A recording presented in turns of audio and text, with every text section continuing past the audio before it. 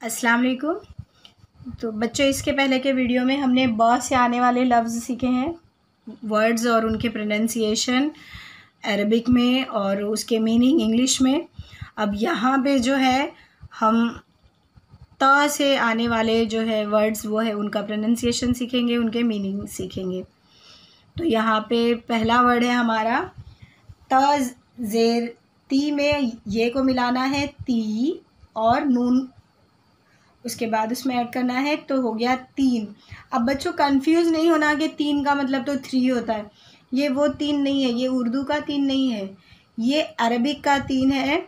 आपने कुरान में एक आयत सुनी होगी व तीनी व जैतून। तो ये वो वाला तीन है।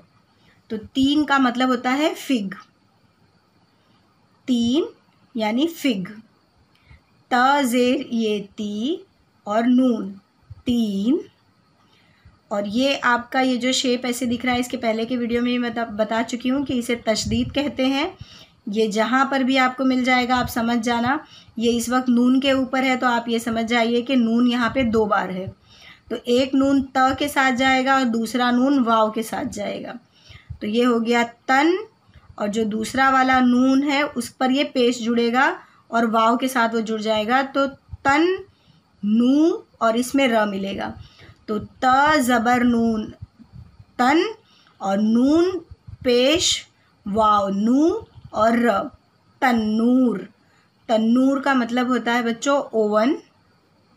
तन्नूर मतलब ओवन। उसके बाद तीसरा वर्ड है तुफ़ाह। तुफ़ाह। तुफ़ाह का मतलब होता है एप्पल।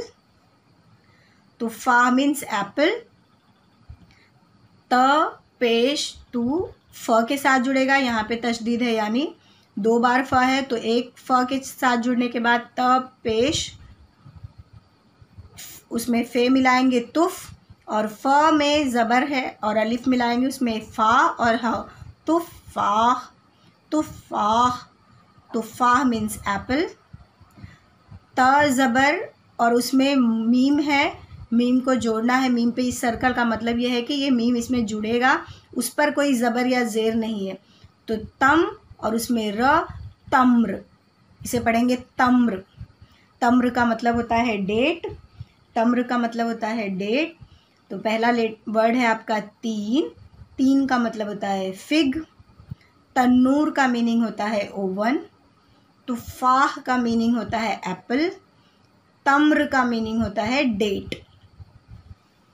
तो बच्चों, यहाँ पे हमने त वर्ड कंप्लीट त से आने वाले वर्ड्स कंप्लीट कर लिए हैं। अब आप इनको ज़्यादा से ज़्यादा प्रैक्टिस कीजिए प्रोनाउंस करने की और इनका मीनिंग याद करने के लिए। टेक केयर अल्लाह हाफिज़